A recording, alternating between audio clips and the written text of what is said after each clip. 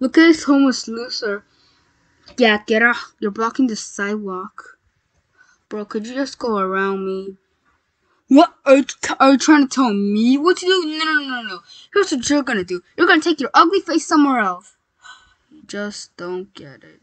Three minutes later.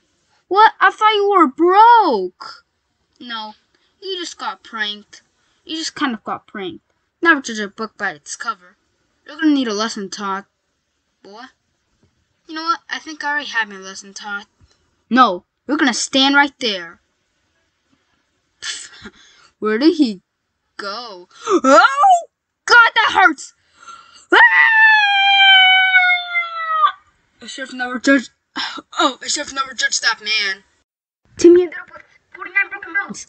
His, his hospital bills were too high. His wife cheated on him while he was in the hospital.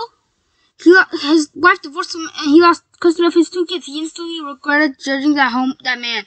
Hey, Dhar Mann fan, make sure you like, subscribe, and check out my latest video. I know you're gonna love it.